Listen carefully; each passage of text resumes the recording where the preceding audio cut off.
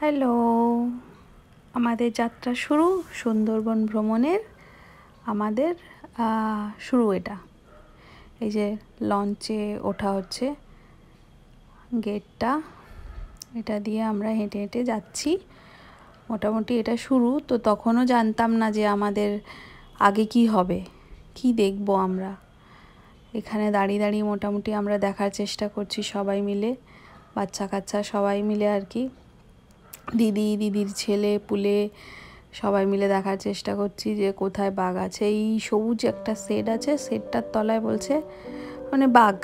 এটা ওদের পোষা বাঘ বলা যায়। মানে ধরে রেখেছে আর কি বাঘটা। জঙ্গলের বাঘ নয়।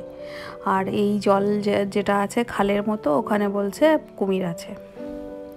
তো মোটামুটি দেখতে ভালোই লাগছে। জায়গাটা খুবই সুন্দর।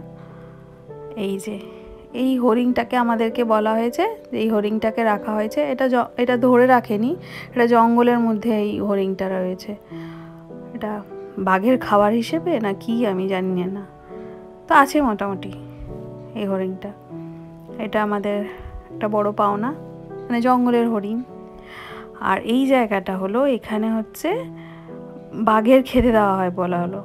যেখানে ওই ধরুন মাংস, ঠাংস এরকম নানা রকমের জিনিস খেতে দেওয়া হয়।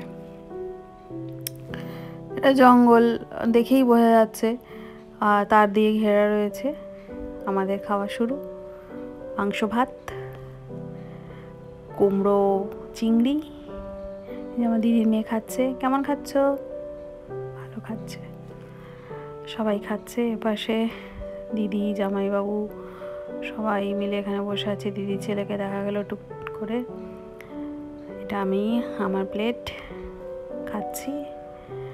সন্ধে হয়ে গেছে। এবারে যাওয়ার পালা। সবাইকে টাটা, বাই বাই।